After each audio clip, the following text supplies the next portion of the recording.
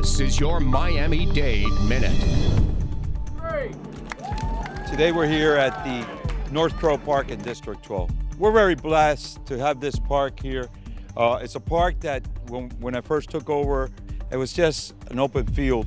Today, this park is one of the best parks in Dade County, and we're very blessed to be able to have this park in District 12. Well, as they visit these parks, they start noticing a lot of the amenities that have already taken place, and this is just another way of enhancing what's currently there. We have tennis courts at this facilities, we have basketballs, we have our playgrounds, and now we're going to be including some nature-based uh, facilities as well as playgrounds for the kids and so forth. To the residents, as promised, this park was going to be a jewel, and it is a jewel. So please use it, and I know you do, by the way. This park is very full after 5 o'clock, and sometimes earlier too. So we're blessed, you're blessed, to be able to have a park like this in our community.